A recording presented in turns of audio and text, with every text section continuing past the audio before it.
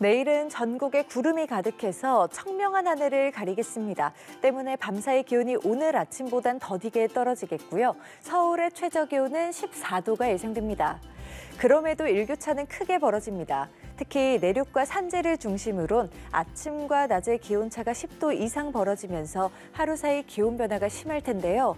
옷차림 잘해서 감기 걸리지 않게 조심하시기 바랍니다.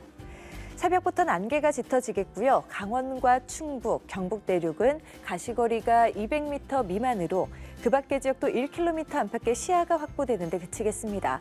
안개는 내일 출근길 무렵에 솟아들 것으로 보이니까요. 평소보다 차간 거리를 넉넉하게 하셔야겠습니다.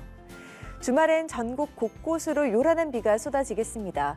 곳에 따라선 시간당 20mm가량의 장대비가 집중되겠고요. 대기 불안정이 심한 곳들론 우박이 떨어질 가능성도 있습니다. 비구름대가 넓게 퍼지기보다는 국지적으로 강한 비가 쏟아질 가능성이 높으니까요. 최신 기상 정보를 살펴주시기 바랍니다. 모레까지 제주 먼바다는 바람이 강하게 불고 또 물결이 다소 높게 일겠고요. 해안가론 강한 너울이 밀려들겠습니다. 다음 주는 최고 기온이 20도 안팎을 넘나들면서 낮에도 한층 서늘해지겠습니다. 지금까지 생활 날씨였습니다.